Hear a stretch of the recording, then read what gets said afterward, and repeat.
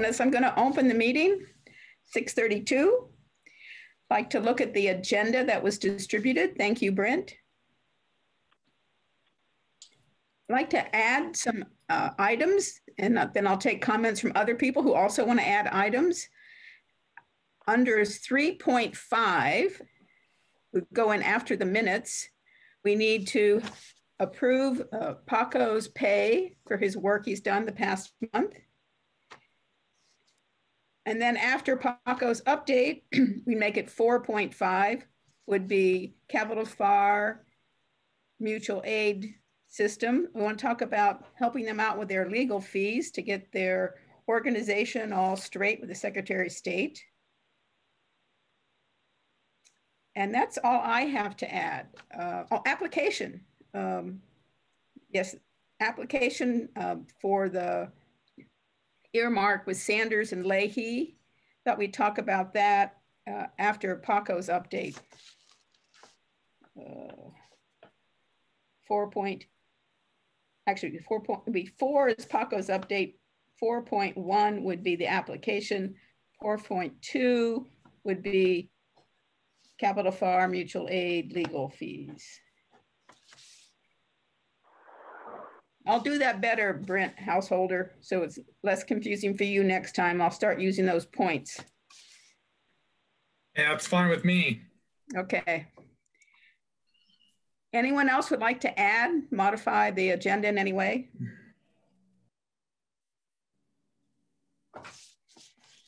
I move right. it be amended as suggested by consent. Well, I'm going to say without objections, it's amended.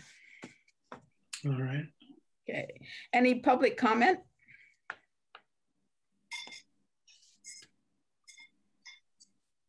Okay, minutes of April 22nd were sent out by Brent Householder. I mo entertain a motion to approve the minutes. So also move. I'll second then. So that was Doug Hoyt that made the motion? Yeah. Okay, I'm just making sure. I, I was looking down, so I didn't see who spoke. And yeah, Sally, who seconded. Discussion about the minutes. Sally seconded, but I yes. will also. I'm sorry, Kim. I'll second them. I thought Sally had. No, she did. I said any other further comments. Oh, okay. All right. All in favor of approving the, the minutes as received, say aye. Aye. Wave your hand if you like. Any opposition? Great. I want you to know, uh, Brent actually did like five pages of minutes and I trimmed it down. And I'm really encouraging him and myself, all of us, to realize that minutes are about what we do, not about who said what. And I want to keep moving us in that direction. So they're they're really about what they should be about. If you follow Robert's Rules of Order, they're about motions and go in that direction. So people really want the nitty gritty, they have to attend. we'll give them motivation. Donna, I, I have one piece of business I just want to mention. Uh, um, do you um, have a piece of business that you'd like to assert and where would that be? Oh, it's going to take three minutes. You want to put it under other business? Well, it involves a check of almost $6,000. I already put Paco's pay in there. No, this is separate check. Okay. $6,000? 5800 Okay, well, um, I'm, okay, we'll put it uh, right after Paco's. How's that? Oh, okay. Uh, I do apologize. I realized I did not send out his invoice. Uh, he had sent, Paco had sent the invoice to Kim and Kim had forwarded to me. I did print it out, but that didn't help any of you. Uh, what it was, unfortunately, uh, Chris didn't get the payment done for Paco's previous month's service that was $1,250. And then this month's service was $1,750. We owe him a total of $3,000. The invoice that we need approval of today is $1,750. The other one had been approved at a previous meeting. I entertained a motion to pay Paco. I'll so move. I'll second. Any discussion? All in favor, say aye or raise your hand. Aye. Any opposition? Similarly, raise your hand, say nay. Motion passed. Paco's gonna get paid. Good. I don't see him. He thought he was gonna make it tonight, um, but we'll just skip right directly to Kim's addition of the five thousand eight hundred dollars. What's that about, Kim? Donna, it's a payment by the city of Montpelier, which I think is our last payment, five thousand eight seventy-five. It's made out to CVPSA and myself. And you should call, call Kristen and straighten that out, so. you Okay, came to I'm, my, I'm, it came to I'm my sorry. home address. So okay, I'm- my, my Wi-Fi is a little unstable tonight. I must have a lot of neighbors on, I don't know. Could you, you got something from the city of Montpelier, but I didn't hear the rest. five thousand eight hundred and seventy-five dollars, which I think is its last obligation this fiscal year. And it was made out to the authority and to me. I will endorse it and return it to the police department for Bev Hill. But I think you should, you should talk to Kristen and uh, Yes, make okay. Sure that it gets sent to the correct address. Yes, we have a lot of address changes. Um, but uh, thank you. Chris is out this, this week, but she'll be back in. Try to interface with her. But I will let her know, but please just endorse it and it can get deposited. You can let it off at the police station. I'll do that. Okay. Um, this might be a good time to let everybody know that we now have a post office box that's official. Post office box 634, Montpelier, Vermont. 05601 is the zip. So whoever is chair, we've got at least a mailbox. and uh, I'll be changing the, the bank and uh, Vermont League of Cities and Towns. I think those are the two primary and, and some other places that we have some expenditures relationship with. But we also have a phone number.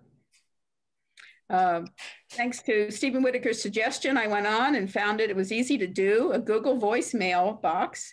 And so we have a number, it's 802 828 7482. It'll be posted on the website. Brent has started that. We're still working together. Uh, some things need to be removed. I have put a call into Eternity Web to try to get a meeting from a couple questions that Brent came into, but that's looking much better. Uh, people, you probably still owe Brent your bios. Now he did uh, some, I would say creative writing about bios and you may want to read them, go online and read them and see if you want to leave what's there or make any changes or corrections, but it'd be really helpful if you could get that into Brent by the end of next week. Do it over the weekend. Think, have it done by Monday. How does this phone number work? Does anybody answer it or is it just? Uh, you get a voicemail.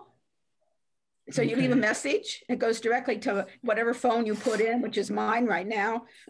but my number is behind the scene, so you can change it at any time and forward it to any phone number you want. Okay, But it's just a way to have a constant number instead of changing it by people moving in and out of offices. good idea. Paco's here. Oh, Paco, we'll come back to you. We did we did pass your pay. You're finally going to get some some green stuff from us. Sorry about the confusion of your previous check. Madam Chair, That's okay. Can, can you hear me all right? Yeah, Yeah. uh, Jim, Jim has a question before you start, Paco. Sure. Uh, Jim? Yeah, on, on the bios, uh, I for some reason interpreted that as the bio was one document and the, our individual plans were another, but then I started thinking that maybe I had that wrong. Do you want our, our individual goals, I should say, in part, as part of the bio, or is that a separate doc, separate entity? Well, the goals we, we were hoping that we're going to have time to talk a bit about. So I wasn't really so much looking as a document. I, I did send as an attachment with one of the last emails I did as secretary um, that sort of asked you for a few brief facts about your background, share why you want to serve on the CVPSA board, what benefits you think the Public Safety Authority has. And I've asked for 125 words or less. Okay, I, will resend that out. It's a good reminder. That's fine. I, I just, for some reason, was thinking it was two separate. Okay. Okay. Okay. Okay. Okay. Paco, did you come prepared to do a bit of an update? I did. I, I, I, I did, and, and I will. I have to apologize. My internet uh, connection has been terrible uh, ever since this afternoon. And so I've been juggling trying to figure something out. Anyway, uh, I'm sorry for the delay. Yeah, mine's wobbly too. So. Yeah. So uh, I, I believe you're looking for an update on Televate's uh, the project, right? Yes. It might be just well, two sentences. well, uh, it's it's going to be uh, short because Rick at the last meeting gave a very comprehensive overview, and the only thing I have to report this evening is that uh, of the electronic surveys we've sent out, 15 have been returned. I don't know which departments or which individuals uh, that includes, but regardless, uh, 15 of them have been um, returned. Um, I know Televate has been working with Joe and producing some uh, updated propagation studies. Uh, he's also produced some maps for Joe that shows uh, the status quo or I mean, the status of propagations within the existing system. Um, that's that is not, I, I, don't believe, ready to be handed out at this point. Uh, but perhaps, perhaps the, uh, the the biggest issue is the upcoming site visit. Uh, Dom Curry is arriving Monday. Uh, I guess his plane gets into Burlington in the afternoon. Uh, so he, we do not have anything planned as yet for Monday, but we are hoping to try to arrange some meeting with the hospital staff. Um, I know Joe, Joe sent out an email to a variety of people. Uh, pri prior to today, I was somewhat dealing with their, director of security, Mike Wolf, in terms of providing, hopefully providing an introduction, uh, and I did, of him to Televate. But that didn't um, didn't materialize. So uh, I not I'm not hearing back from anybody on Joe's email this morning. I reached out to Tom Galanka uh, this afternoon, uh, kind of rekindled um, our old relationship, but also uh, he was kind of chuckling that we're still at it. So uh, he was going to reach out to the CEO, uh, Ann Noonan, I guess, to try to find out who on her staff uh, we can talk to at the hospital and, and, hopefully use his leverage to get a meeting uh, with Dom um, and the hospital staff uh, Monday afternoon.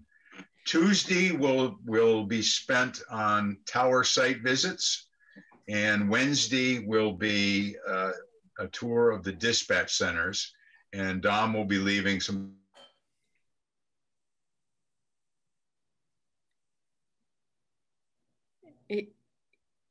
Uh, did he cut out on everybody or just me? It cut out on me. Okay, so uh, Dom plans to meet with dispatchers on Wednesday morning. And one is a Carrie who's replacing Fred, as well as one uh, dispatcher in Barre. Joe's got a question. Thank you, Joe. Uh, so on Wednesday, um, we plan to meet in Montpelier. Uh, Dom wanted to tour uh, that facility, and on just after that, we'll go over to Barre and uh, tour that facility. He wanted just to talk, chat with the dispatchers there. I let uh, Chief Pete know and uh, uh, Deputy Chief Eastman and Chief Bombardier, and they're aware of it. So we are working through that right now. I, I was hoping to do a, uh, just a a end-all meeting with Dom and Paco, just to make sure all his ans- questions were answered before he left. That's great, Joe. Really, I appreciate how proactive you've been and that you're going to do the towers uh, tour with him. Very I went up to, went up to one tower today and I'm gonna have to get a UTV to get up there. Oh, wow. But the other tower, we should be able, no, no problem. And then Woodbury should not be a problem either. Good, good. Well, I know I'm curious, so take pictures. I'm, you know, and then he- uh, I'm sure he'll be taking some too and pointing out different elements to us. Uh, the one thing I would like for the board to be involved in is we thought we would take him to dinner on Tuesday night as a board, and anyone who wants to can join us. Uh, Sarducci's has put up their tent as well as indoor space eating so that people could be comfortable. Uh, if you want to attend, I just need to know. It'd be helpful to know uh, Tuesday noon. It, by Tuesday noon, if you were going to go, certainly you can let me know sooner. If people are just thinking about it, next Tuesday, what seven o'clock? What's a good time? How many would be interested in having dinner with Dom? 6:30. Six thirty. Is that all right for people traveling further? Okay. Nobody besides Kim? Uh, Dan, is your hand up? Okay. Sure, I'll. I'll probably, I can probably go. All right. You can confirm it later. I'd just like to get an idea. Um, Doug Hoyt, Doug Brent. Okay. Um, Doug Brent, you're more than, uh, I mean, you're invited too if you'd like to join the board with his dinner with him. Uh, I'll let you know for sure, Donna. Okay. Okay. Donna, I'd like to attend that myself, but I'm not sure I'm, I have Tuesday night free, so I'll have to check. Okay. Okay. Check. All righty. Hey, Rearrange. Donna, Yes. I, I certainly apologize for that. I really don't know what's happening with my system or the internet here. It's really bizarre. I'm, I haven't had this problem before. If I could just finish, I was uh, just about ready to wrap up and, and By all means. Dom, Dom, Dom will be leaving Wednesday uh, afternoon. Uh, but the important point is we are coming to a period of time with this project where all of the information gathering will will will be completed. I think by the end of next week, uh, unless there are any clarifying issues that Televate will need. In talking to Rick, uh, he's going to begin the drafting of his report uh, after next week. So my message is that the whole project is moving moving right along. Um, and I- and I I guess I'll editorialize a little bit. I, I think they've been doing a very comprehensive job. Um, and I will also add that in their in their uh, viewing of the dispatch centers on Wednesday morning, they intend to speak to other uh, some additional dispatchers as well. I know uh, Kerry McCool in Montpelier has had some communication with Dom, and uh, he's already he's visiting Montpelier. I think starting uh, at 9 a.m. Wednesday morning. So that's pretty much it for my update on the Televate project. Um, I, I didn't know if Joe wanted to add anything with regards to the site tower site visits, or maybe he has when I when I went dark. When you were gone, he, he filled us in. Great, good. Thanks, Joe. You always got my back. All right, buddy, no problem. I have one question for uh, Paco. Uh, Go ahead. Have you, have you told uh, Caroline Earl that the dispatchers, her clients will be uh, spoken to by the evaluator? I think she Uh, should be included if she wants to be. Uh, The, the answer to that is sort of yes. Um, Carolyn, after the last meeting, had reached out to uh, uh, myself saying, I hope that she had hoped the dispatchers were going to be interviewed and that she could help and make sure that happened. And I passed her along to Rick Burke, and Rick and her had some exchange with emails. and beyond that, uh, I, I don't know where uh, it, it really uh, uh, rested. I, I, know in talking to Rick, I made it perfectly clear that uh, um, dispatchers' involvement was also a responsibility of the agency heads and that they would have to be included. But um, I guess, Kim, we tried to make that connection with Carolyn and uh, dispatchers and Televate. Yeah, I think her focus was definitely the dispatchers, and I'm sure they'll let her know if indeed she wants to attend. But I can send her a short email just from me to her and ask to make sure. Sure, sure. Can can the dispatchers uh, be interviewed out of the presence of the agency heads? Yeah. I would hope so. Um, I will send... can, I, can I ask a question here? Uh, yes, Stephen. Yeah, uh, Paco, did you did y'all uh, Televate uh, meet with Chief Romai of the Capitol Police? Yes. Okay. Thanks. Okay, anything else on uh, that update? Any questions for Paco? Okay, now I'd like to go into the application. As you all gotten emails about it last minute, we got an opportunity to submit an application for what they call a congressional delegated uh, funds and earmark. And both Senator Le Leahy and Sanders are giving us an opportunity. Sanders is due this Saturday on the 15th. Leahy is due on the 21st, next Friday. And I've been really thrilled that Paco's been willing to jump right in and a lot of other people we've contacted, including Televate, to help us do this. The idea is that we know right at the gate that Joe and, and Doug Brent have put so much time in working on proposals that they've taken the simulcast, the consoles for Barre Montpelier, and what I call the built-in structure for Barre and Montpelier. It's that connection, and made a huge proposal. Um, and I, I think it's also an RFP, and I'll have them talk about it. But that's sort of our base. And then on that, we talk to Televate to add what they see as other equipment and staffing that we need a project manager and we also need to deal with governance and we could look for some money through that to really use our expertise and our relationship with Televate to help us with governance cost allocation and put in a place within the earmark application that we would actually use them to assist us to fine tune any RFPs we would send out and be the project manager over any implementation of the money we received. That especially not having any staff would be really important within the application that we can show expertise of managing the money. And they would provide us with that. So, I mean, that's sort of the gist. Apaco, you want to add more to what we're looking at for the application? And then I would love for uh, Doug Brent and Joe to talk about their uh, proposals.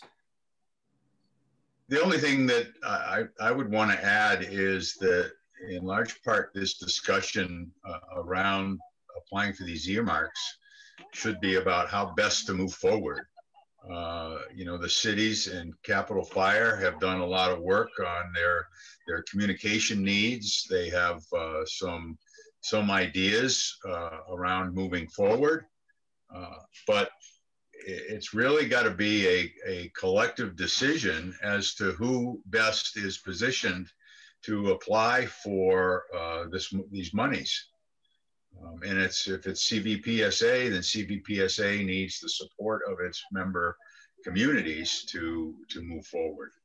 And I know Donna has been working on that, and I, I just don't want to assume that everybody is on board without having a discussion about it and and hearing it from the members' mouths. Yes, thank you. That key to this is that we really want a group decision, group participation. Um, the idea is to move forward to get the equipment our first responders need, and and to also make whatever it looks like public safety authority some regional entity that can work for people. And that's why, to me, it's important that we have a governance piece within this application and that we do our due diligence to get a governance membership cost allocation that people, people, all the entities feel comfortable with and can make it work. I'm not married as to keeping Central Vermont Public Safety Authority as it is at all. And so I really, not only this application, but all the steps that would make the application really be successful implementation would only come from a collective unit that can work together. So I did talk to Bill Fraser. He said, great, go ahead. We would take your money. we will use any equipment that you get from this. We will work with you. He had no hesitation. Unfortunately, uh, Steve McKenzie was in a lot of meetings. I left messages, but we haven't connected. Um, and I've sent Paul an email for Capital Fire, and I haven't heard back from him. But meanwhile, everybody here can share their opinions and whether they would support us in approaching their the head of their entity that they're here today representing. So um, Doug Brent, Joe, one of you want to talk? I'll let the chief go and I will jump in as needed. How's that? Can you hear me now, Donna? Yes. Hey, great, great. Um, first of all, I want to correct something that you said. We did not pr- put together a proposal. We gathered up all the projects that are reportedly going on in the area to include a Barre Montpelier um, type of radio project to help our inner city areas. Um, and the talk out of from buildings. We put together the uh, added the dispatch consoles that Montpelier wanted to put in, and Barre has tried to jump on that same band, same same bandwagon to um, get some economies of scale for purchasing, and then um, also added in uh, after meeting with Paul Sher- uh, Paul um, Cerruti, the um, uh, project that the mutual aid system wanted to do. So there's like three project major projects going on, all having to do with radio communications, all having to do with fire and EMS um, for this area. And we just kind of put those all together to try and figure out what we had and if we had some buying power because of that. There has been no proposal put together. There has been no bids put out, anything like that. Just trying to get an idea what was going on. We um, like you, didn't know anything about these things coming along from Sanders or from Leahy's office. So our um, completion time, if you will, to try and get this stuff together was kind of timed out with when we got what we got from uh, the Televate report, because hopefully that'll either shed some light on different things that we need to look for. Hopefully, maybe it would even validate what we th- thought we should be doing. Um, so there's a number of different things that we've looked at there. And uh, that's kind of what we've been working on. As you know, and you spoke of earlier, Joe has been working um, tirelessly with trying to make sure that Televate um, gets the information that they need. Um, as we all know, reports are made up like garbage in, garbage out. So it's important to make sure to get good information to them. So those guys that are the professionals can evaluate that stuff as best they can and give us really, really good information. I think it's going to be important going forward, whoever we get money from, whether it's a federal agency, whether it's a state agency or whatever, to have that third party report um, from Televate to show that we've not only come up with what we think we need, but we've got an outside agency um, that validated that and, and agrees with us and, and for the reasons why that we, we need to do that. Ultimately, at the end of the day, I'm the fire chief here in Barre. I want the best equipment for my personnel that we can possibly get as quick. I, I want it yesterday, um, but we know that's not possible. But for the whole area, we need to update this stuff. You think about the fact that Pat Leahy got this money for Capital Fire Mutual Aid 1989, 1990 ish. That equipment is old. Um, we could only hope as as a group of people here that the equipment that we buy wherever we get the money from lasts as long as the equipment has that we got when Pat Leahy bought it for us the last time. Because chances are it won't. Um, if you've ever heard of technological obsolescence, that's what's going on these days. So um, uh, again, Joe and I will work to make sure that um, our manager who puts us up and backs us to do the work that we do for you, for us, um, that he comes on board just like um, like uh, Mr. Fraser has in Montpelier. I suspect that he will. I'm sure there's going to be a, a city council um, component to that, but with these darn short uh, windows of opportunity that get presented to us, trying to get something warned and get on a meeting and make a presentation so they even know what you're talking about takes so much time that uh, it doesn't sound like we got. We certainly haven't got it for Bernie's request, and we'll be pushing it to find uh, that we have it for um, for what Pat's looking for. But regardless, I'm sure in concept it will be supported by our administration. Great. Well, I mean, you, I've heard a lot of praise about the information you have gathered uh, on the three projects that have been floating around. And that's uh, would be very useful indeed if Mackenzie says, yes, go ahead and share that. That would really strengthen our information. Sanders doesn't ask for as much detail as Leahy, um, but what we put in now, again, is just the beginning. There'd be more asked for later. So that's no, no. also why it makes it a little more doable. Particularly Sanders is much, much simpler than Leahy's and Leahy is simpler than it will be, the next stage will be more complex. Donna, I have a question. Uh, yes, Kim. Are you sure the Sanders date is Saturday? I I thought it was Friday the last time I looked at the flyer. I thought it's 15th. I have it printed here. That's Saturday. Well, whatever, we can check it, but I was. Yep, yep. Yes, what? Uh, we'll check it. Yeah, yep. but um, somebody has to do some writing uh, tomorrow. Yes. And I've talked with Paco about doing some drafts. Um, well, actually, he's already started one, and I'm glad you brought that up because um, in talking to Paco about time and how what the cost would be, he feels there's hours unused. He estimates to be unused within his current contract. And about 40 hours that he he doesn't see him using in the Televate study that we could apply to this. And so i would really want the board to think about that and give the approval for him to spend time on the application both applications.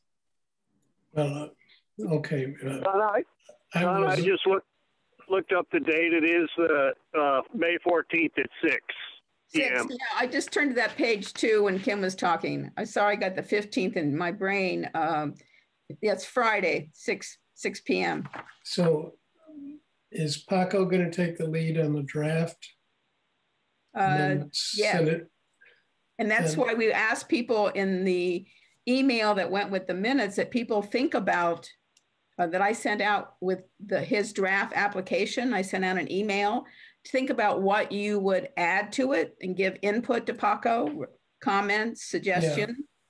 Yeah. Okay, I think the uh, committee, um, which presidents you, I, and Doug should review the draft and help him with it as much as possible because it's it's going to be a struggle to get this ready by six o'clock tomorrow. Um, Paco, how do you feel about that? Well, uh, it may be it may be a struggle. Um, I, I, I am looking at it from a, a macro view. That is, I'm looking at the Sanders application as being a, a high level uh, conceptual grant proposal. Um, it, the the keys in my mind are going to be to adequately identify and articulate the problem such that uh, we capture somebody's attention. Uh, I think that uh, the other issue is to identify our solutions to fit in with uh, some of the federal guidelines.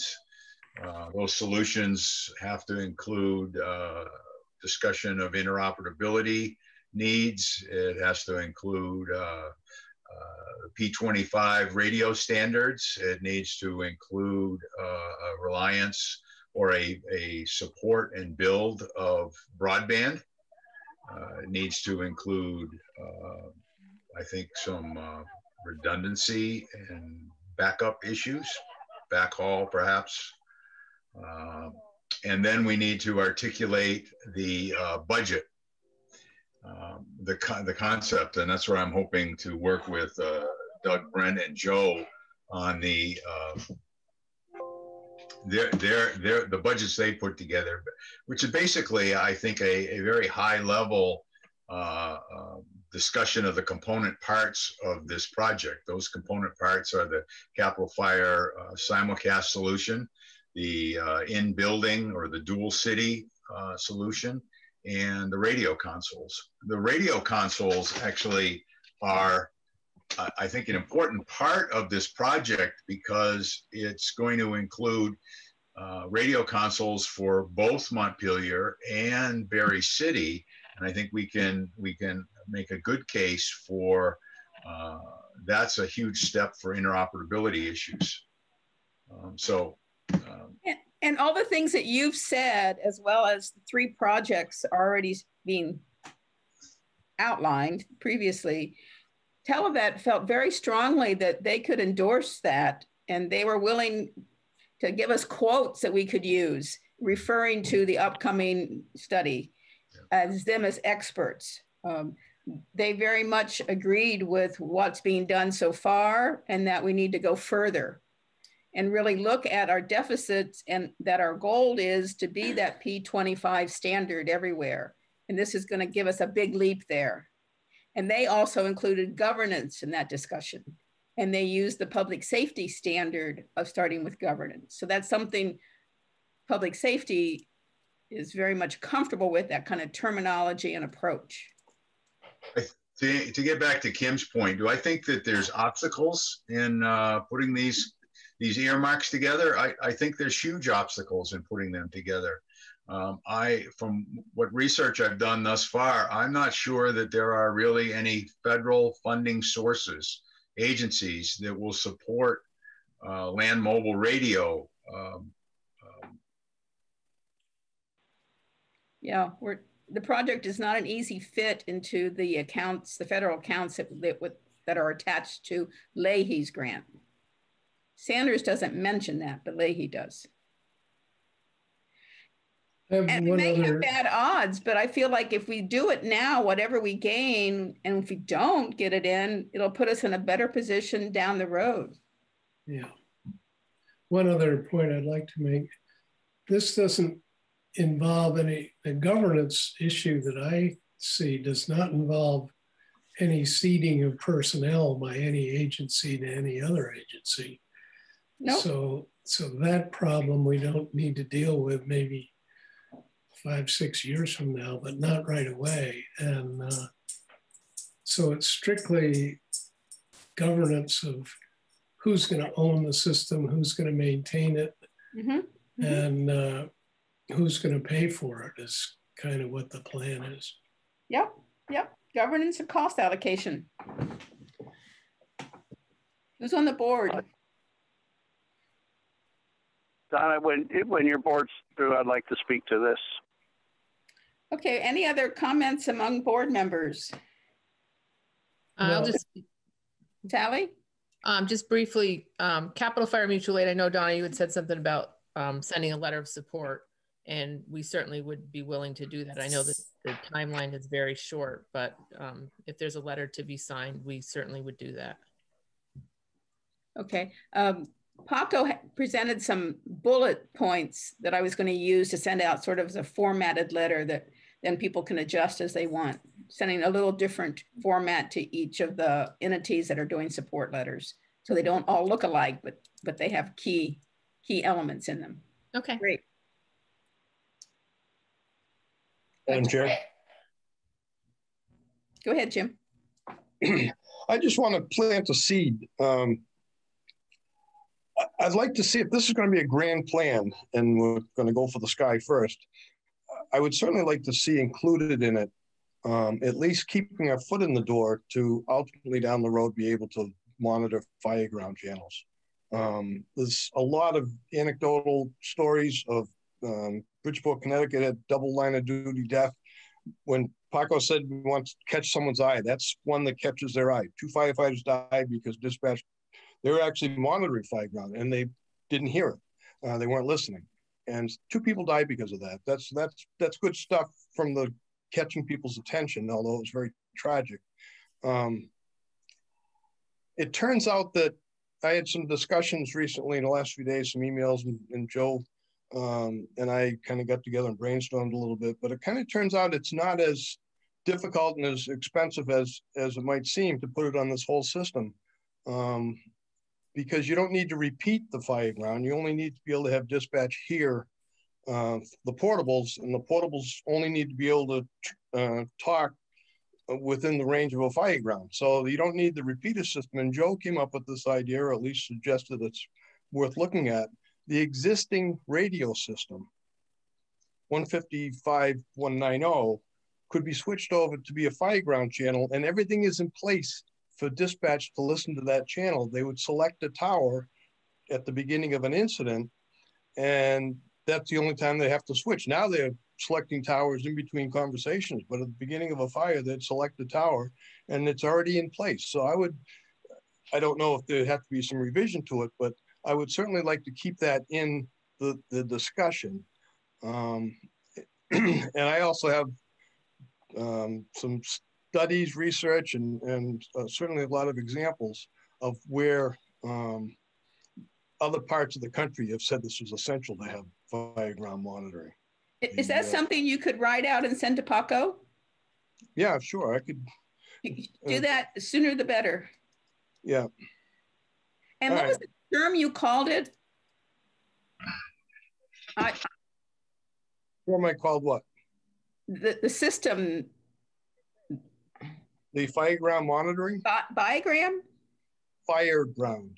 It's the conversation between firefighters on radio, land mobile, on the fire ground. But if dispatch is listening to it, yeah. but one, they could jump in and pick up unacknowledged transmissions or, or repeat, relay and, and answer uh, and, and actually give um,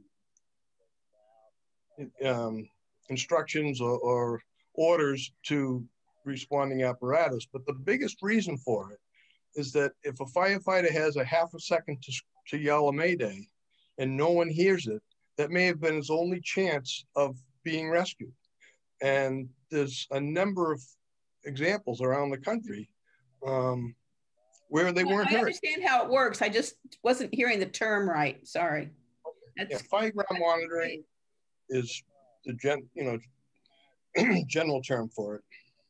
Well, if you could send what you have, it sounds like you have a lot of information. That'd be great. I would be happy to do that. Paco, I tried to send it to you and I had the wrong email. Donna, I, am I'm, I'm sorry again. It's I've never had this problem before, but I just wanted to finish. I think I cut out on a saying that there's a lot of obstacles. I was going to finish the I was going to finish my statement that says, well, there may be a lot of obstacles. You can't play ball if you're not in the ballpark. So, uh, you know, uh, it, if we don't submit anything, then we know we're not going to get anything. So we might as well submit something and go on record as having a project in central Vermont and uh, advocate strongly for funding. That was my message. Yeah, get on their radar. I mean, they can tell us what what was wrong with it and what we need to do. I mean, then we have a relationship going. So I would entertain a motion that we go ahead and do the application to both Sanders and Leahy as best we can with the information we can gather in the short time we have. I'll make that motion. I'll second. Okay. Brent, did you get both of those? Okay. Any further discussion? Uh, I'm still waiting. I'm sorry, Stephen, did you want to say something? Yes, I did. Um, I still do. Uh, I think that it's important to recognize that the Televate uh, needs assessment was kind of a phase one, and it was anticipated that following a phase one needs assessment would be an engineer design. I know some members of the board have mentioned the, uh, or a member of the board has mentioned uh, the analysis of potential costs or benefits of uh, a trunk system uh, and whether that's compatible with or an add-on to a simulcast system. And so what I want to point out is that we might want to, you, you as applicants might want to consider a different approach for the Sanders earmark, which does uh, also these aren't grants; these are earmarked appropriations. So I, it's important to refer to them as that. Earmark. Um, yeah, they're appro- direct appropriations from Congress and and earmarked for this project. But it could be that phase two of the of the engineering design for the system, and that's where all of the details of backup and redundancy and failure modes you know, multi-site failure modes, I understand, are not being done in this analysis. So it may be that the Leahy deadline is what a month further out. A week. Or the two weeks further out. One uh, week. I see one week. So I guess my point is, depending on how flexible, uh, we also don't haven't discussed whether or not uh, Central Vermont could end up with a PSAP out of this. And so I would suggest that we uh, make part of the approach not anchored to things that have not yet been uh, completely engineered, but yet allow ask for the money to build them regardless, but um, not commit to things that we haven't yet figured out is that the best overall in the long run.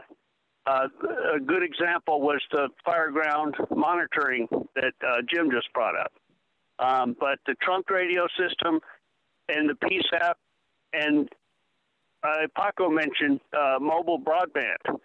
Uh, mobile broadband analysis and even implementation of filling uh, areas with small cells uh, will get attention. That is that is desirable. That's what they've been fund sets putting billions into for FirstNet, and we have the ability to infill areas where FirstNet isn't going to cover using small cells that will uh, support mobile wireless and fixed wireless to help students and telemedicine patients. So those are things that would definitely catch the attention of the congressional staffers that are going to review this because that is the kind of demonstration of integrated planning that I know that they have been wrestling with. So, uh, asking for money to complete an engineered design and as phase one, and then to implement the design, even if we don't have all the details of the implementation yet decided, might be the smartest approach.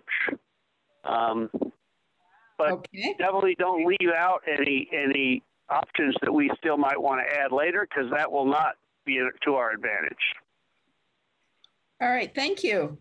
Uh, anyone else before we make the vote? All in favor of approving the motion to make these applications of earmarks, say aye or raise your hand. Aye. aye. Any opposed? Okay, it passes unanimously. Wonderful. Next on the agenda was also about the Capital Fire Mutual Aid. We've heard um, that there are some shortfalls in the organization having all their paperwork done as it should be within the Secretary of State. There may be some other uh, outstanding paperwork that I don't know, but I'd be a really positive and important step, Central Vermont Public Safety Authority, to offer some funds to help pay for the legal fees to get their paperwork in order and I would, you know, like to, I don't know, Dan, if you have any idea what, how much paperwork there is uh, at all that's, that's required or what the cost range was. But I thought we could make like an allocation of a, up to a certain amount and uh, at least help them out on it. Well, obviously it depends on the, the attorney and the, but you know, for any type of incorporation, you're talking about putting together a, a set of uh, bylaws and uh, articles. Um, if it's a if it's a municipal entity, um, you know, uh, essentially making um, the filings with the state I think we've, I, you know, you had thrown out Donna the idea of four thousand dollars. I think that's a reasonable amount of money. Um, it probably won't cover it all. It depends on how, you know, if we're talking about sort of an off-the-shelf boilerplate set of um, articles and, and bylaws to sort of straighten out, and and or there's existing bylaws, there's existing paperwork, and it's just a matter of making sure everything's effectively uh, and properly filed. I think 4,000 should probably cover a lot. It would certainly make a substantial dent into it. Um, I'd go as high as uh, five or six, but um, I, I, think that's a fair range. Uh, Sally, do you have any input on this or inside knowledge of what you have and what's needed? I honestly do not. I don't know. Joe might have a better idea of where this. I mean, I, I know there's bylaws and and stuff for. I thought you had bylaws. Um, Donna. Uh, yes, Kim. Um, there was a, another situation in Rutland where the papers didn't get filed, and the process is that you apply to the fire marshal you give him your articles, and if he files a petition, and if that gets approved, then it has to go to the Attorney General for approval because the Attorney General supervises creation of new municipalities in the state to make sure that everybody knows what's happening. And that does require articles of association and new bylaws. Um, I think there is an additional step that's separate from this, but the whole governance issue, which I can talk about when we get to the uh, individual reports.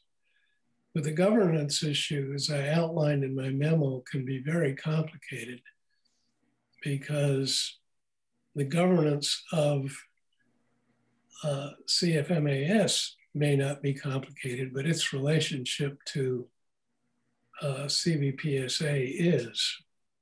Somehow, if they have roughly 30,000 population and the cities of Barre and Montpelier have 10,000 each, and we're going to own a common system, there has to be some recognition of the population served.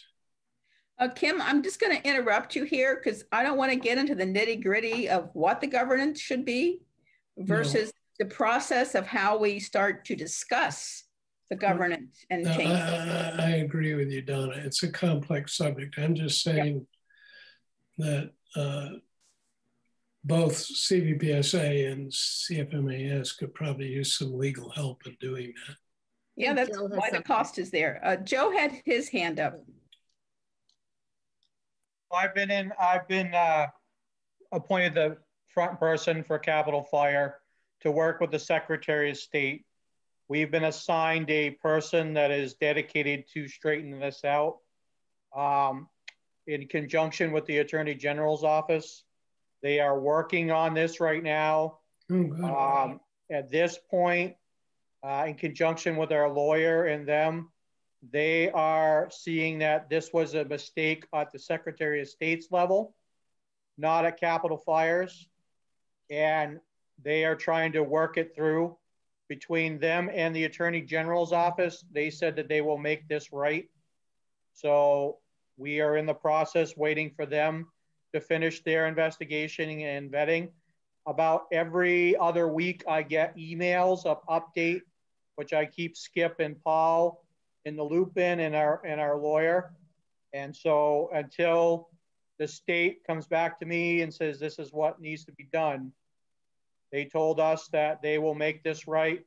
That they are looking that this was a mistake way back on uh, when one of the grants was applied for and we had changed our nonprofit status. And that's about all I can go into it right now. So okay, we're on top of it and we're working through it. Do you have some costs associated with that, Joe? I, I do not right now. They had not told us anything. Um, Here, Okay, Dan? I- yeah, I, I- mean, here, here's what I'd offer, and, and maybe this is similar, um, is that it, it sounds like the Secretary of State and the AG's office maybe um, there may be some uh, uh, repayment to uh, CV uh, to the to the Mutual Aid Fire Society from you know for their legal fees created by the mistake of the Secretary of State's office.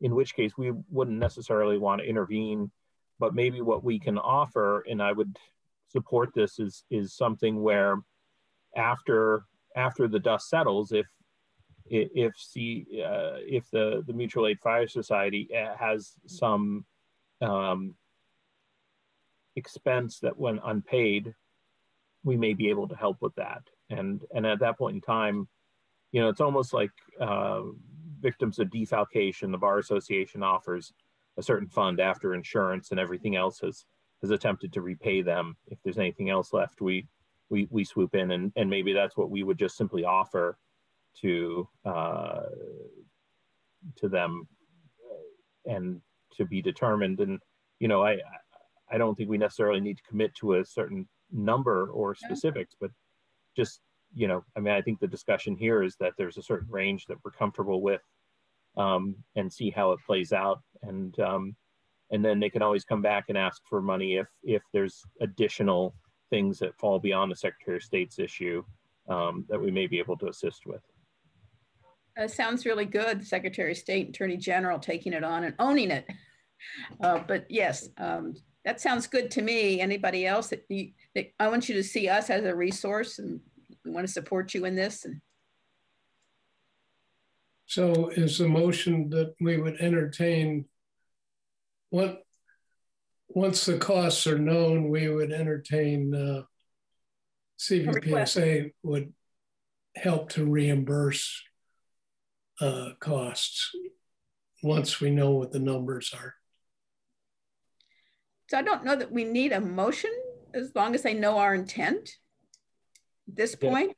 And, and actually, I'd recommend that we don't make a motion because we don't want to commit to a pot of money. Because if Secretary of State or AG is is is out there and they're like, well, you're going to get six thousand from CVPSA, that's six thousand less we have to to front. I, I I think what we're willing to do is to sort of help help make you whole, Yep. but they the AG and the Secretary of State should step up to the plate first. Okay, that satisfies me. Yep, yep. So we're incognito, but we're there. okay, great. Uh, finally, the roundtable. Uh, I'm asking people Uh, to. Donna, were you going to talk about the um, the point-to-point assessment? I had that. I I really didn't list it, uh, but I'm glad you brought it up. I'm going to put it under under other business on the agenda. The next thing is roundtable. So I'd like to get to that, even if it's more shorter than our initially. If people could even just take a two minutes or less and, and say just one or two goals that they would like to achieve in the new year that starts July 1 for us. I would like to hear it. And, and you can volunteer or I can choose you. Who would like to go first? Okay, Well- Kim, I'm going to time you. well, I sent you all a memo April 17th on my thoughts and basically what we have to determine for the future is who's going to own the new system, who's going to pay for it, and who's going to maintain it. And uh, when I began working for the state of Vermont back in the 60s, I worked on union school governance issues. But I've gotten a little rusty in the 50 years since, and they're complicated. But I can foresee various systems which um, CFMAS could own this and have representation not only in proportion, but we'd also have to come up with cost issues. I think those are very complicated. And I think we should think about engaging legal counsel to help us with that. And I don't know who's up on all that when I read the newspapers on union schools, for example, in the Valley. Certain towns have combined, say, three towns, and they get one vote. And I think the uh, CFMAS could do the same thing, just off the top of my head. If we had two groups of seven towns each and gave them each two representatives, they'd be populated, uh, they'd get proportionate representation. I'm not offering that as a solution. I'm just saying there's a lot of creative work that can be done that will have to be done. And I'd like to get some really professional help in doing that. And I don't know if Dan has any idea of. Okay, we're not we're not coming into solutions. We're just bringing up what your goals are. I'm sorry, I'm gonna, I'm okay. going to confine you, Kim. And so I hear your goal as a real concern on the governance issue, the voting, the cost. That that's really important, and that you see us needing outside resources to do that. Thank you. Okay. I'm, I'm going to be brutal about the time because I want to hear everybody and we put this off a couple meetings now. Who's next? Dan? Okay. Um, no, I, I, I'll be brief in that, um, you know, I think this is a very interesting point for CVPSA and for Central Vermont Dispatch Services in that, um, you know, I, it, it certainly feels like this Televate um, uh, report is the first step in, in trying to figure out what, what a unified dispatch service looks like. And so I, I guess my goal is to make sure that we get through this first phase um, and then we take that report and really start to plan out a, a second phase. And I'm excited to think, um, you know, because I, I, I think this is one of those great regional models um, in that I think there'll be some tension to re reinvent the wheel and just create something that is entirely shared. Um, but I think there's we also have to look at what we have, um, and sometimes existing systems turn into regional systems, and and there's a path forward on that, um, both of which are are workable. Um, but you know require a certain amount of buy-in and planning. So I'm looking forward to those parts. Okay, thank you. Jim?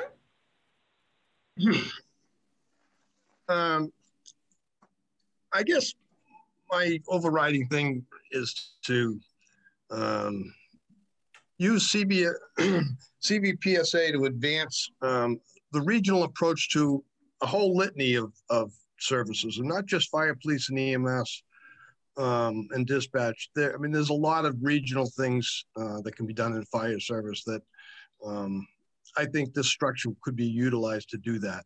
Um, training comes to mind, and a regional training approach is, is a very beneficial thing because training is, is very expensive to bring in experts to do the training and so forth. It all becomes very small scale when it's done on the local level.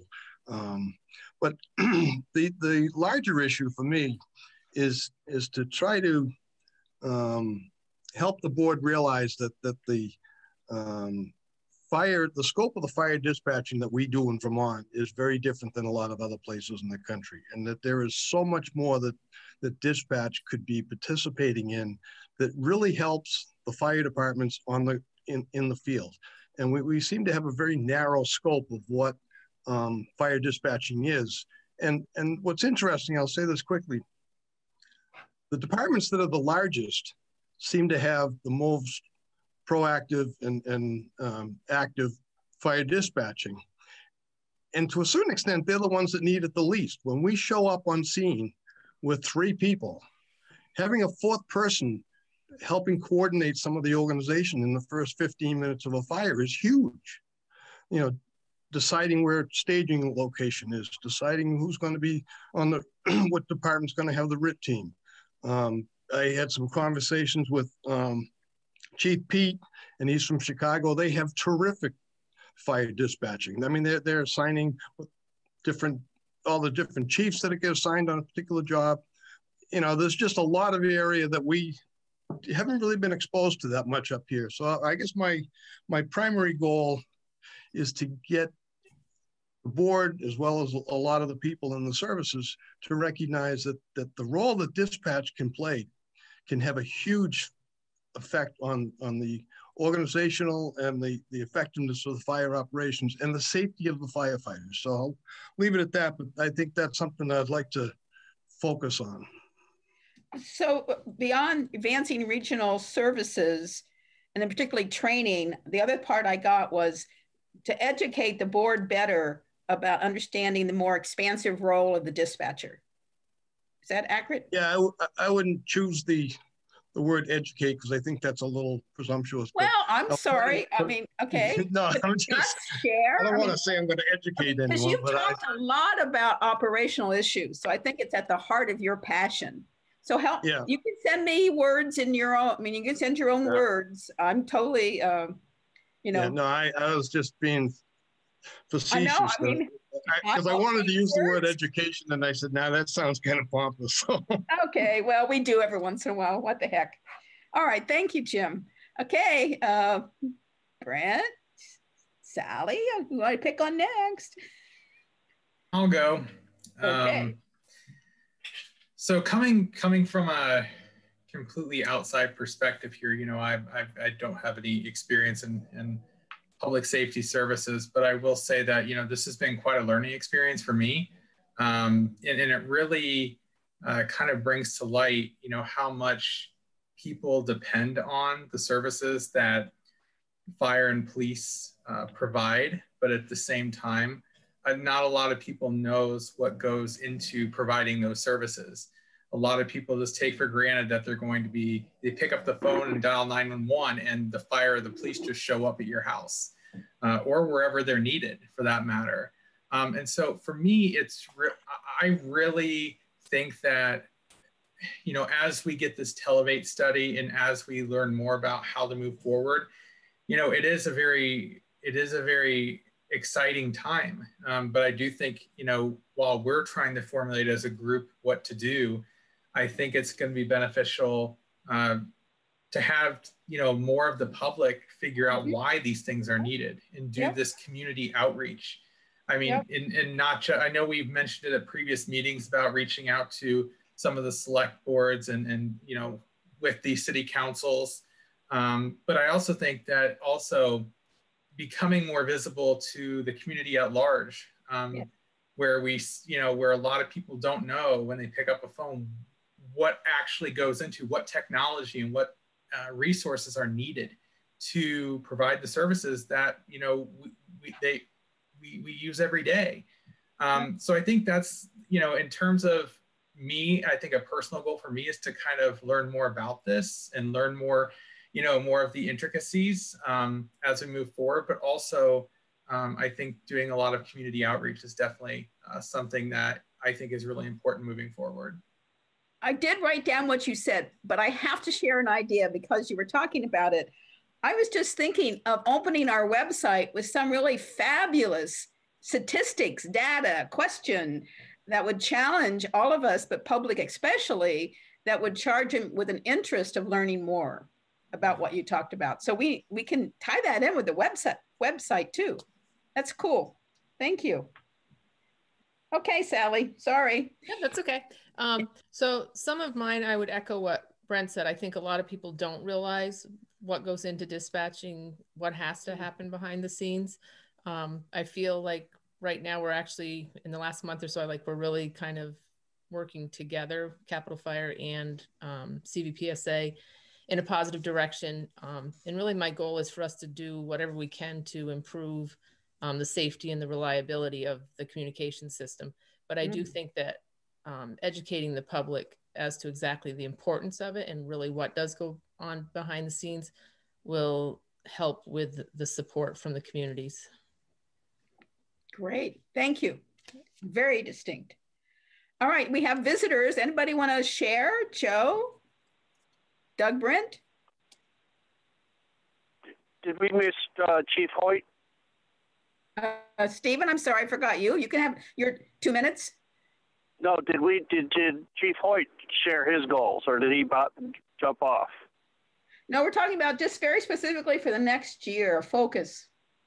No, I know. I'm just saying, I didn't hear Hoyt, another board member. Oh, Doug Hoyt. And he let me get away with it. Oh, how could I miss you, Doug? I'm sorry.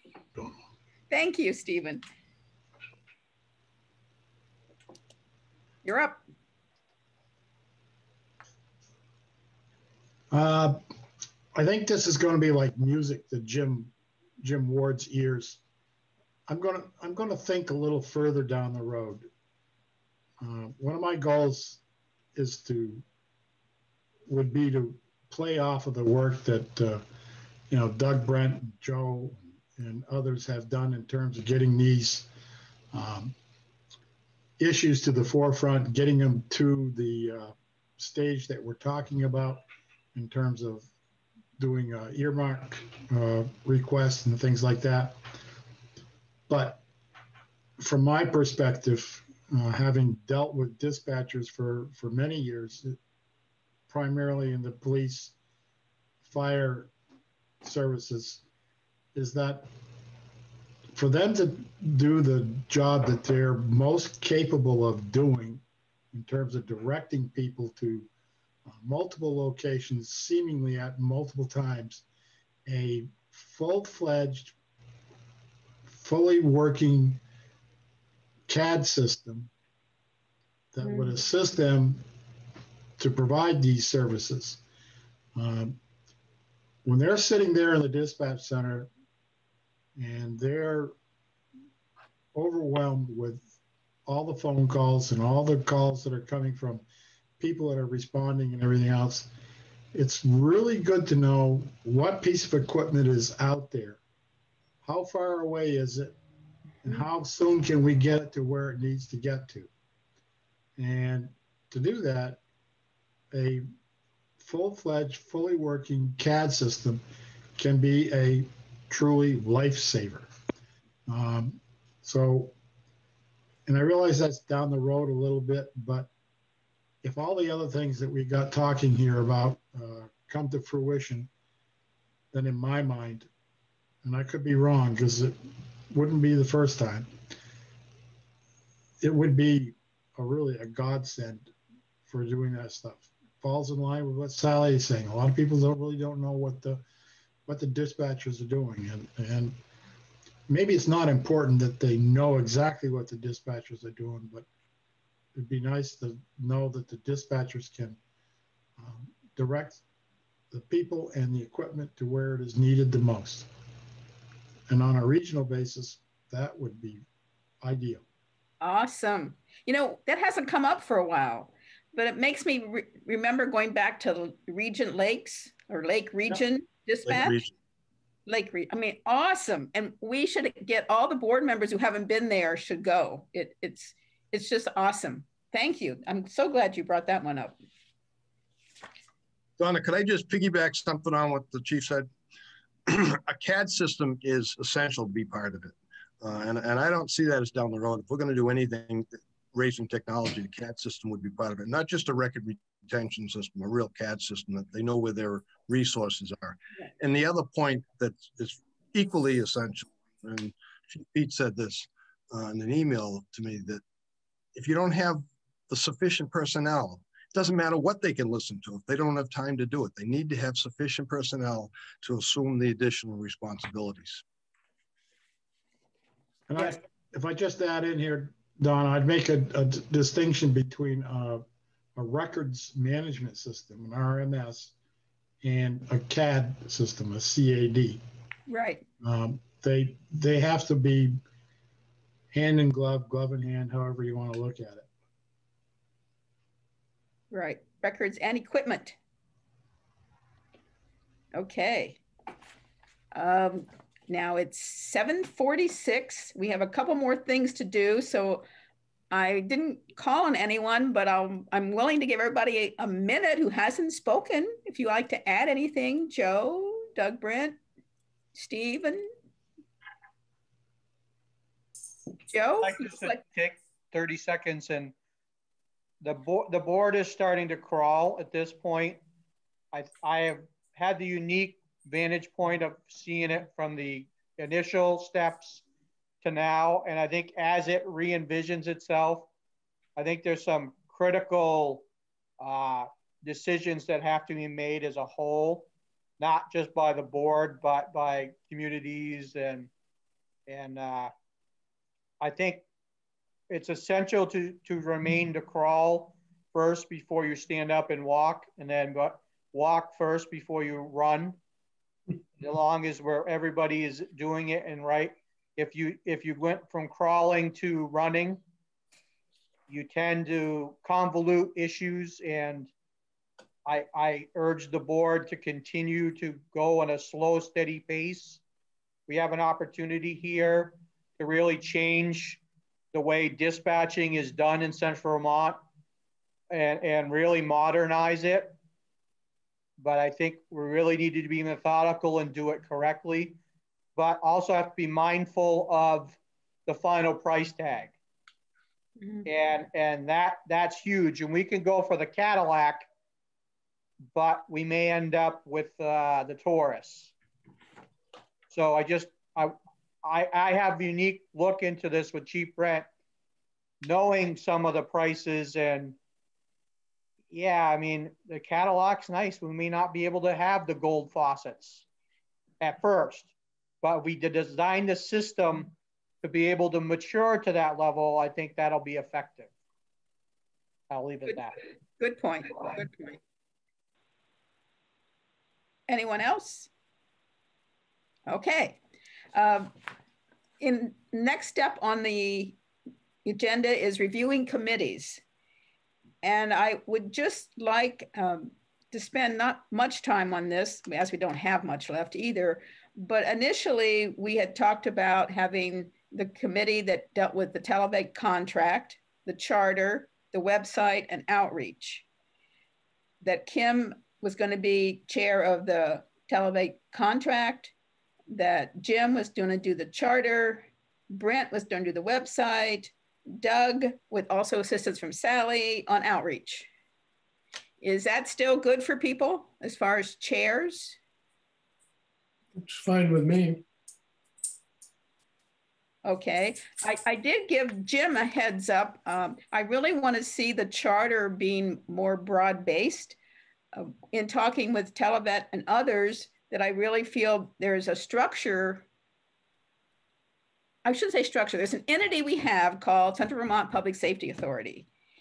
We can make major changes to its existing charter just by changing board membership and total, totally change the organization. I mean, what if all the boards were chiefs, fire chiefs, police chiefs, city managers, and then maybe two or three public in it, uh, persons? Uh, if we really looked at it as a way to say, okay, how do we change some of the voting layouts if we change the membership of the board within the charter itself? So I'm just throwing that out there because then if we start with the charter, we're sort of reacting to something and putting things in instead of trying to look at governance all new again. So I'm asking the charter committee to take a much broader look, as well as some of the what I call housekeeping we need to do within the charter between now and December and really make some decisions about what we might put before the legislators. And part of this discussion, definitely Televate would be part of. We would be hoping that actually on the governance issue, particularly that they might take the lead on it. Uh, they're giving me some numbers of cost. If we got the earmark, it'd be part of that. Um, and if not, then we might have to go looking for some funds but uh, I think it'd be really important to have a neutral party lead that, even though the committee would be there governing, they would govern them the way the Televate contract committee governs that work. And so I, what's that sound like to people? Just trying to get a different look of how to approach and reform the entity of Central Vermont Public Safety Authority to become something that our members can really relate to. Uh, Jim and then Kim. Yeah, I have to say, um, I was kind of taken back by your email, um, only because I didn't anticipate the scope that you were talking about. I was of the impression that we were um, looking to do some housekeeping uh, and a couple of tweaks, uh, some problematic areas in, in the, uh, you know, in, in the uh, bylaws or the charter. Um, and, and, when I read it through, I didn't see anything that struck me as being earth shattering. On the other hand, if you or if the, the board desires to totally revamp the whole thing, I, I uh, and, and maybe even maybe it needs to be revamped, go in a different direction. I, I guess I would like to see some kind of consensus of what, where did they want to get to? Um, you just mentioned something I had not given any thought to whatsoever, but there should be public safety positions on this board. I agree with that. The chiefs, the you know, someone that's at least involved in the in the uh, in the field.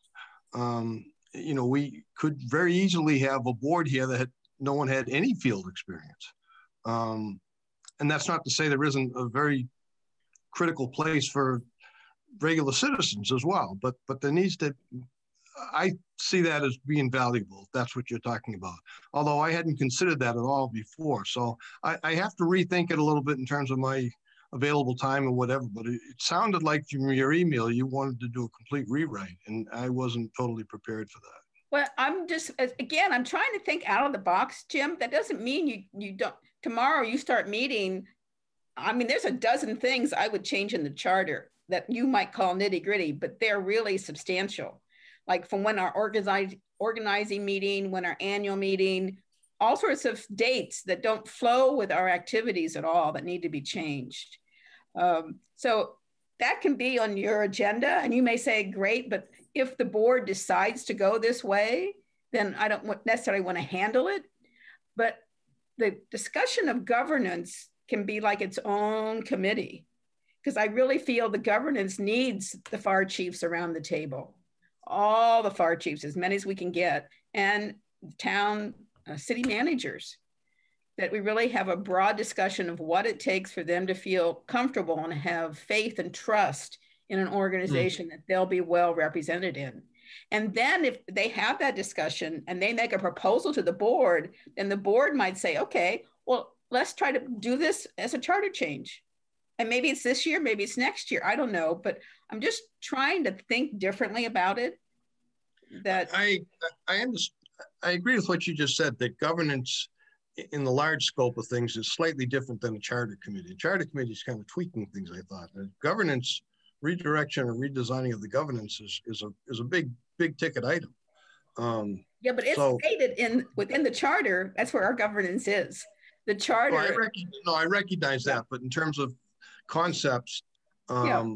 you know, where where we want to go with it is is something that I would like to see the the board uh, give general areas that they think are a problem. If they don't think representation is is adequate right now for, from different, you know, interest groups, then that would be something we'd look at. But if they think the board's fine the way it is, then maybe we'd look at something different. But anyway, I'm just saying that that I was a little taken back by the scope of what you were thinking. No, it's a new idea. i may do that to everybody time to time. You know, I feel sometimes it, it may be half baked, but it can open up another thought that then takes us somewhere. Um, I mean, I think indeed, an advisory board is something that could be also there could be an advisory committee that the public safety departments put together for us or something to that effect. Mm -hmm. That's just another idea well, to throw out. Okay, if we pull the governance out outside the charter for now and just leave the charter with the more regular things we've been thinking of, would the board support like a roundtable uh, that we're meeting with the fire chiefs and city managers and start seeing what they feel is needed for the governance. Is the board comfortable with that? Donna? Yep. Um, my half-formed thoughts about this would be to amend the charter to allow the board with the consent of its member um, legislative bodies to reorganize the uh, board membership. This is what I'm saying is that the process is very cumbersome. It has to go to the legislature, it has to be voted on by the towns before that happens, and then it has to be approved by the governor. And I wonder if we could give the authority with certain uh, safeguards. Uh, I'm the, sorry, Tim, you're getting into details of charter change. Um, well, so how would you approach it? How would you want us to approach it? That you be I, on a committee and give this input? Well, I'm certainly willing to be on a committee. I'm just suggesting that if we could give the board, give some internal process to do this, because it's going to be a lot of negotiation, a lot of talk, which is necessary and should be welcome, but it's going to take time. And I'd like to find a way to do it that, because if we miss this session of the legislature, it'll be another year before we can even talk about it. Well, That's if we actually got money, got the earmark and the money was there, Televate said between now and January, they felt it could be done. Well, we don't need to change the charter to uh, do that. To actually look at governance and have the stakeholders and meet and sort of read. Well, that may that may require a charter change. Absolutely. Yeah. But just in case people don't realize, having been with the original beginning of the committee that then became the actual, before it was an official Central Vermont Public Safety Authority Committee, the intention of having the cities appoint, the assumption was that they would point somebody from the public services, and they mm. didn't, and they choose not to. And so it's been very hard because, on one hand, we sought for years opinions of the chiefs, but the chiefs were never there to vote on something and then follow through with it. They just would share an opinion, sort of go away, come back, share an opinion, and often it changed. So for some reason, the cities just didn't do that. And maybe because it it's not like Lake Region, it doesn't have all chiefs. Maybe that was the issue. Um, but I just feel governance needs to be talked about really solidly with the people who have the most issue being a member of, of public safety authorities. Like, why aren't you a member? Well, there's these issues. Well, let's get them out on the table, talk about them. Can we resolve them? If the board's not interested in that, I mean, I've just heard governance forever as being an issue. Oh, I'm certainly willing to talk about it. I think it needs to be talked about. Well, where are other people at? Well, yeah. if I can offer, I mean, I, I think going back to Jim's comments, um, you know, if we think about if we think about what you're proposing with this this governance change, it, it is a little bit outside of a review of the charter and sort of looking to update and modernize the charter and and you know go through that that kind of review. You're talking about a much more fundamental shift where the charter would kind of follow from that, um, which is you know trying to reach out to the stakeholders and saying, um, you know, and it becomes a little bit of a chicken egg cart horse kind of dilemma, which is I, I, I think if the you know, and maybe this goes to Joe's comments as well, is you know, it, right now I think what the problem was there are two problems is that they're getting chiefs to be on this the, the, this board. I, I know I've talked with Bill Fraser, for example, and he's he's pushed back on that idea in part because of a feeling of conflict of interest. And you know, we can agree or disagree about that perception, um, but that's going to be out there a lot. But but I think the other issue is that we want to make sure that there's we're we're starting to walk and we're starting to take on responsibility because I think then you will see people coming to this or chiefs, you know, coming because it becomes important because of the work we're doing and the the sort of representation follows the work. Um, but at the same time, I mean, I think that follows that work follows the outreach, and part of what we're doing is I think we're we're building or rebuilding, you know, our relationships with these various municipal groups. We're trying to chart out a vision for what CVS CVPSA does and can do and wants to do, you know, so that we don't get ahead of ourselves and suddenly say we're, we're CVS, VPSA and we've come to take your dispatch. Um, but we do come in and offer these benefits, such as you know, legal um, reimbursement, which I think is was a great idea, um, or you know, this Televate study, and we start to become the central clearinghouse, and we start to build um, some of the structures that then you know we can work with these various things and then i think suddenly you start to have some of these governance issues solving themselves mm-hmm. um, because the work follows the governance follows the work and that right now you know i think we're that's that's at least my sense i'll i'll park it there.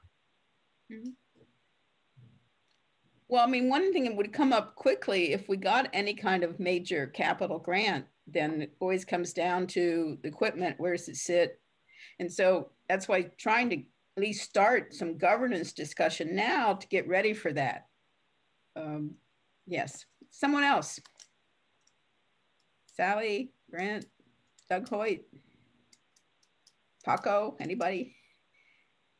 You can just think about it, but if you want to share some thoughts now, okay. Uh, so I, am asking the charter then right now, Jim, just to look, you know, look at the, your small scope of, of looking at that. And I have a several items to give you that some are in the minutes, but I'll actually write them all out for you by chapter and name them for you. Um, but I'd be hoping that you'd actually, all of you would have your committees meet at least once before our next meeting. And if you have difficulties with a Zoom meeting, I can loan you mine. I can set up the meeting and give you access to it so you can pay host.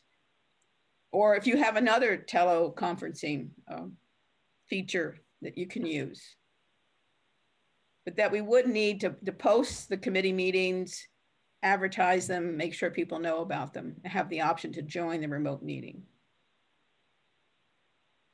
And I can be in more communication with each of you one-on-one. -on -one. Are there members who would like to say right now, I wanna work on the charter, or I wanna work on outreach?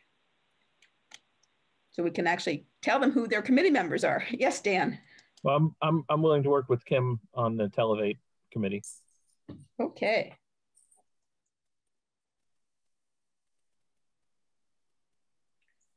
I'm willing to be uh, a resource to the charter. Um, I've given a lot of thought to this, both okay. presently and during my career. Um, so I'd be happy to work with you on that, Jim. Very good. Um, Sally, you're still good outreach. I mean, you can do more. I mean, you can small board, be in more than one committee. Uh, uh, Doug Hoyt, outreach, and you had been on the Televate contract. Right?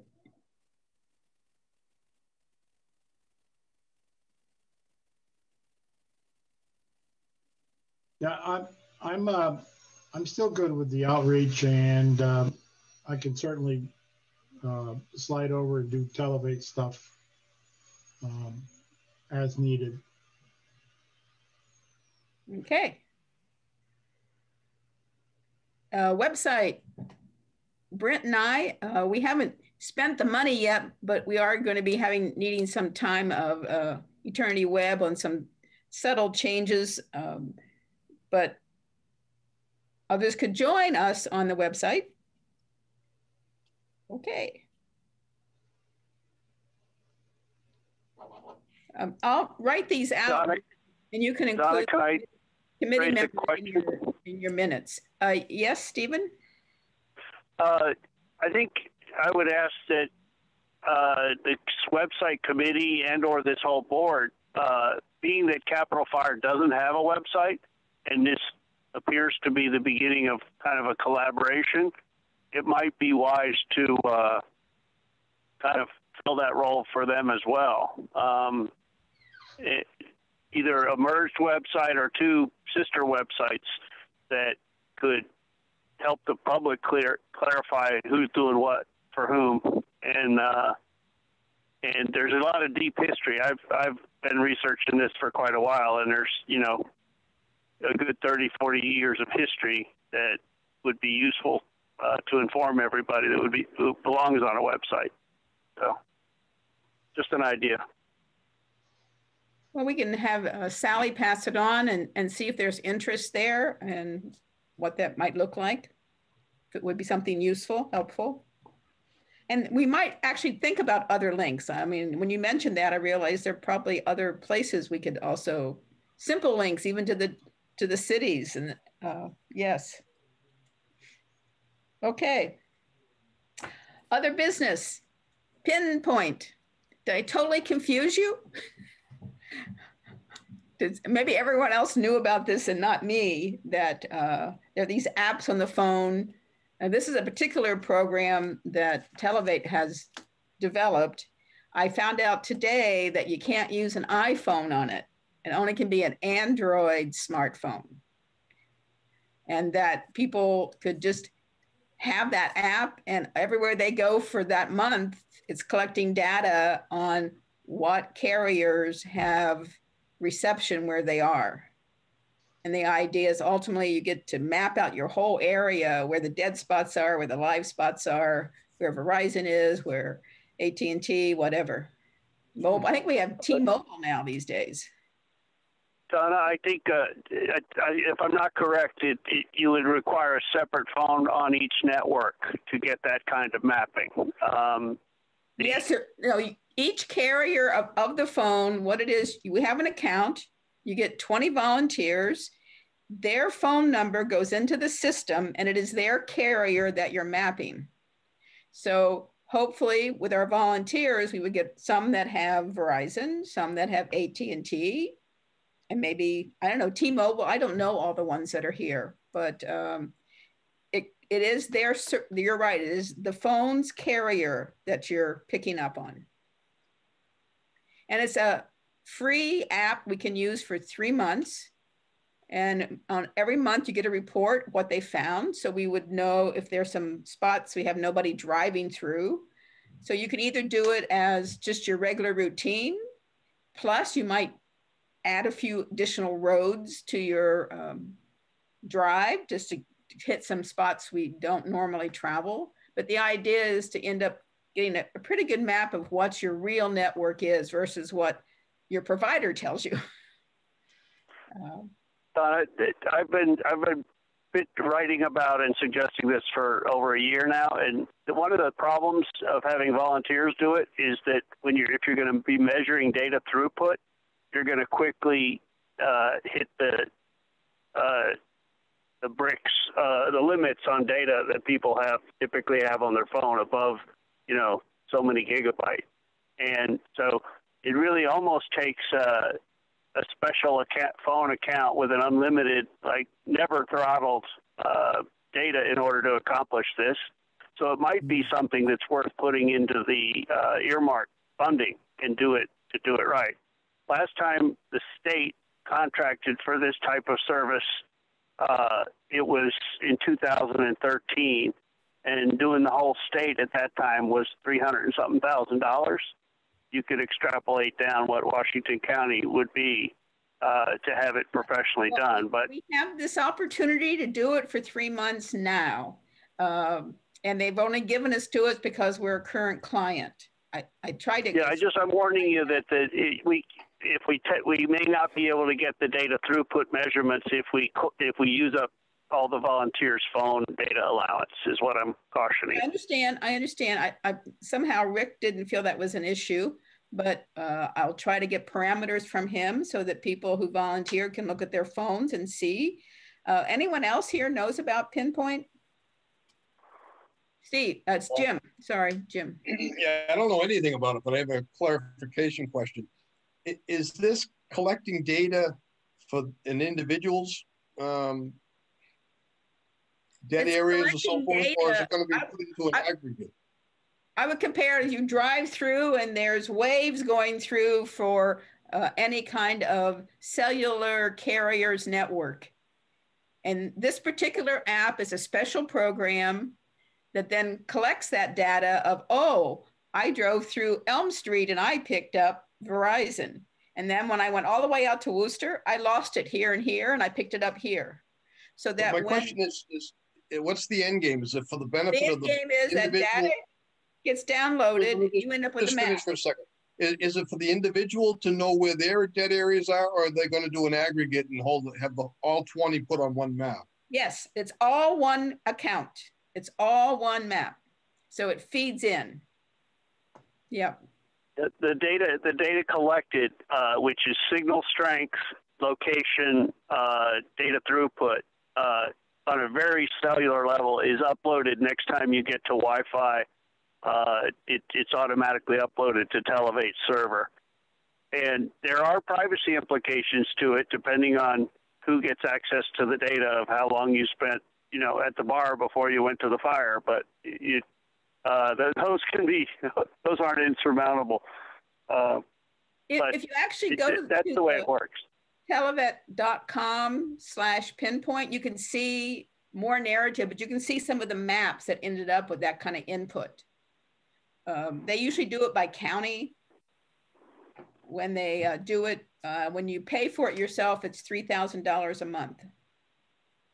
So I thought it was worth um, looking at. If there's no interest, then you know it's going to hard to be, get volunteers. Well, Donna, I think it, for long-range planning, which would include uh, broadband connections, um, you know, for data transmission, Mhm. sending EKGs to the hospital, for example. Yep.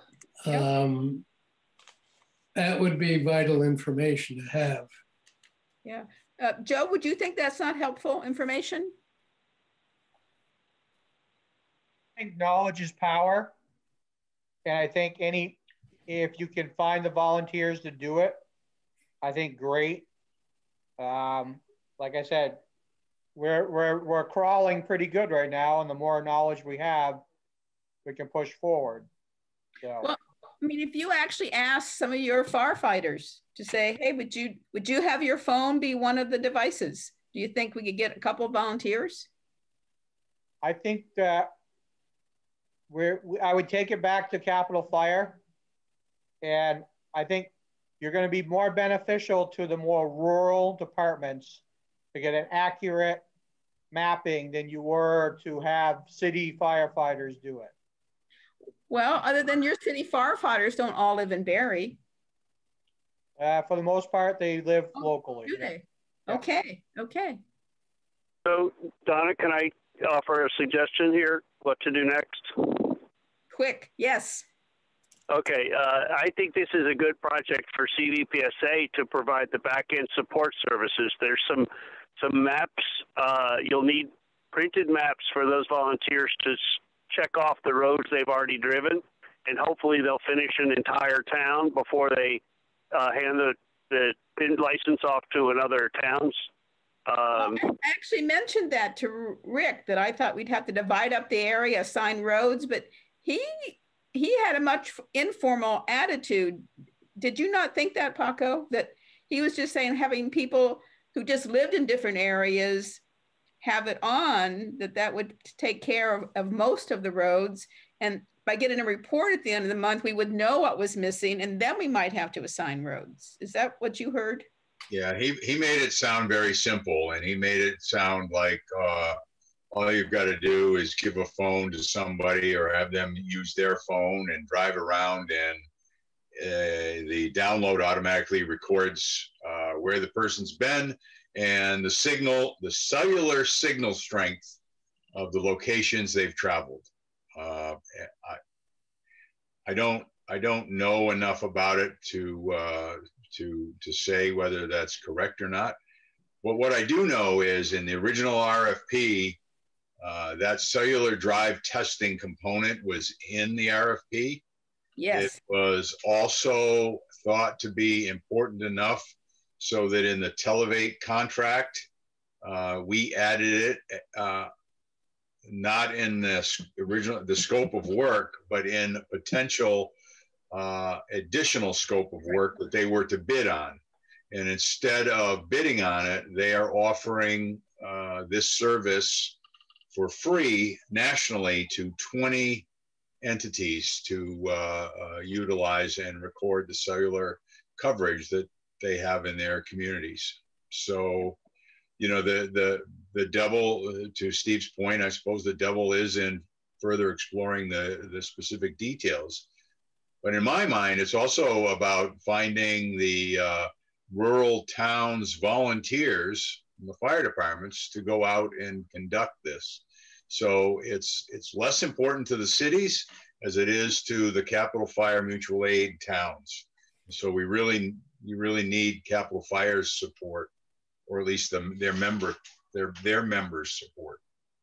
Okay, so uh, Sally, I'll send more information. I believe Paul was on that list, and you were that got the the first you know shout out. But I'll be in touch with you and Paul and see what we can do to at least reach out and see if we can get people to be uh, open to having the app on their phone, just in their um, daily routine. There's a mutual aid meeting this coming Wednesday night, so I would think if we could get it figured out before then, that would probably okay. be good. Okay, this Wednesday. All right. Thank you. Hey, Paco, Paco, are you able to get some questions answered about data ownership and privacy uh, protections prior to next Wednesday in order to get uh, kind of a, a one pager together for, for CFMAS members? Uh, I suppose I can, uh, we can reach out to um, yeah, because the ten the ten year telecom plan is now out for draft review, and whether or not we're going to pursue a neutral host infill model where all carriers are carried on the cells, it would be important that we not uh, have Televate leak this data out the back door to one or the other carriers to give them to prejudice uh, an RFP response. Well, he thinks all public safety should have this, so they would instantly know where their uh, reception is when they need it. Uh, oh, I know. I'm I'm, I'm saying that for for AT and T and Verizon to know where their each other's dead zones are, uh, might might uh, color uh, an RFP response that the state is talking about putting out. What are you so saying? you might want to. I'm sorry. I'll talk to you about it separately, Paco. Okay. What, what he's saying, Donna, is that Televate could uh, turn around and sell the data to a competitor. Uh, yeah, I heard him. Create yeah. an unfair uh, advantage. Right. Um, there's a, I think his name was Josh, but anyway, I got an email from somebody one step removed from Don on the pinpoint, and I'll ask him about that. Donna or Paco, could the I wonder if we can get the Android phones from AT&T through FirstNet so that we could get five or six phones that um, are keyed to a particular uh, service and hand them out so people don't have to use their personal phones and worry about uh, their I don't data. know. That's another another level of complication the idea. Uh, of course, I'm also I'm also uh, reminded that uh, uh, the state, the Department of Public Service, provides uh, this opportunity for free as well. And well, maybe uh, they have the phones. I think they did have the phones, but well, that would that would help a lot. And who was that? I'm sorry, Paco. Who provides that? Uh, Corey. Corey. Corey Chase. Corey Chase uh, with the Department of Public Service. He's the one that did the uh, state's drive testing uh, a couple of years ago or a year ago, whenever it was. Is that yeah? He didn't, or did they do it just once? They did a partial drive test of about 800 miles or something, or 6,000 miles, but they did not complete the state, especially the back roads, um, and it was a one time. They have, they have, uh, if you go to the, the State Department of Public Services website, you can see that information on, on, on there. Okay, so uh, we've gone over our time. Apologize. Um, just head nod. Any objections of me working with Capital Fire Mutual Aid to see if they're volunteers? We can get 20 devices, monthly reports, and he'll even let us change the devices, which is not normally true so that we could get other people to do it the second month. So it isn't asking 20 volunteers to do it for three months. Jim. Jim, I saw your hand. Household wave, I got it. so uh, yes, it's okay that I contact and try to work this with Capital Fire Mutual Aid or no? I think that's fine. I'm glad I you're just want doing thumbs up, just sort of a general consensus. Okay, other people are indifferent. Fine. All righty. Anything else to come before the board before we adjourn? If not, uh, Jim. You're, you're muted. I had a quick thought. Would would the board um, object to or, or encourage me to send the studies that I have to um, put on the website so other people outside of our board could look at them? There's some videos. There's you know a number of different things. I'm not exactly sure which ones I'll send you, but if you're looking for material for the website, I've got a documentary film on on uh, video on um, the whole dispatch line of duty death thing in Bridgeport, which is which is very. Why don't you hold that thought? That's a wonderful resource until we get the website a little more restructured, but uh, that's great. Uh, we're just not ready for it today, Okay. but that's, that's good to know. It's great. Okay, if nothing else, no objections, the meeting is adjourned. Thank you very much. Thank you all. Have a good week. See you all later. Thank you